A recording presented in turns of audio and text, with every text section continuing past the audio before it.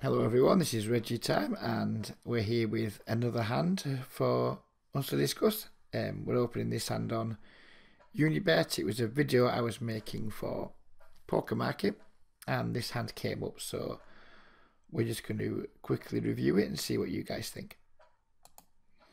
So we're playing five-handed, we open Ace Jack offsuit from the cutoff.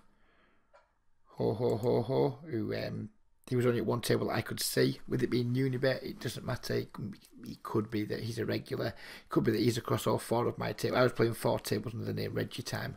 So um, if he was on any of my other tables, he would be aware that I was more likely to be a regular. I didn't know anything about him though. Um, we hadn't played too many hands up to now, so I wasn't really aware of how good or bad he was. Um, we flop the flush draw plus the two overs, and in true Doug Polk style, I elected to check my nut flush draw and two over cards. I think we can definitely make a case for C betting here, um, for sure, just to try and pick up the pot. And if we get called, we have equity, yada yada yada, two over cards, backdoor flush draw, sorry, two over cards, nut flush draw, etc., backdoor straight draw. So we can certainly make a case for betting, but ever since I saw Doug Polk's guide for playing flush draws, I've started checking nut flush draws more often. So we did check our opponent bets 56 cents and I elected to call. Turn gave us a double gut shot to go with our nut flush draw. Um, and again, I think we have exactly the same options as the flop. I think leading here would be a little bit weird. But um, if we decided now that we wanted to try and put some pressure on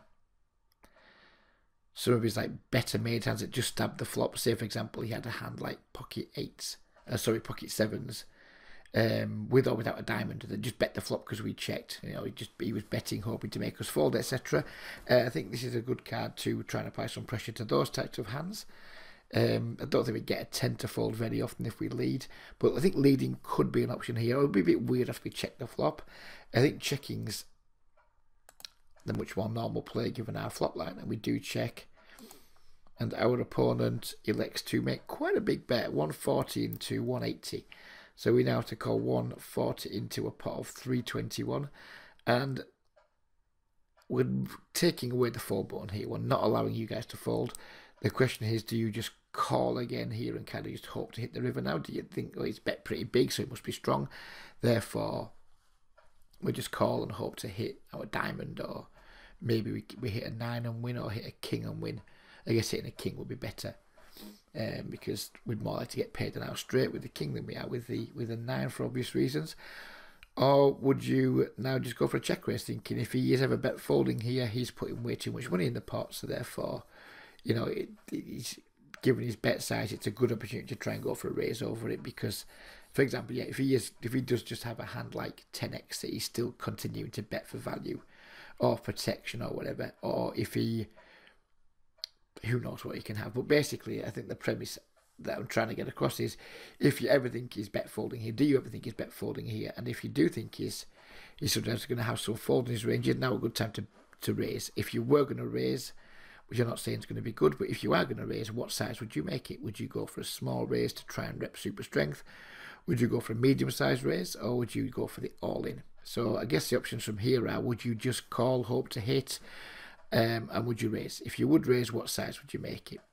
So um, yeah, I thought it was quite an interesting hand. I thought it was quite an interesting spot.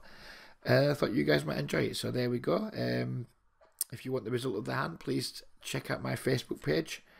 In a couple of days, come back and prompt me to give the result, and I'd be delighted to do that. Um, but for now, we'll leave it there, and I hope you guys have had some food for thought. Bye bye for now.